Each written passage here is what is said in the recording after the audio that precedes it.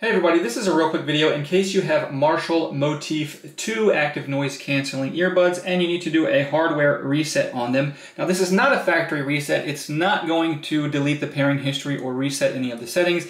It's simply going to um, disconnect the circuit boards in the uh, earbuds from power and then restore power, which will clear out like a lot of errors if they're not working, if they seem to be not responding, if there's you're not getting sound. Just a lot of just bugs and stuff like that can be fixed. Um, and you can do this before you actually do the factory reset. So if you want to do this hardware reset, all you need to do is take the earbuds out of their case and put them in your ears, and then you're just going to come in on the back of the buttons, and with them in your ears, you're just going to press and hold uh, both earbuds, the, the, the multi-purpose button on the back of both earbuds for 10 seconds.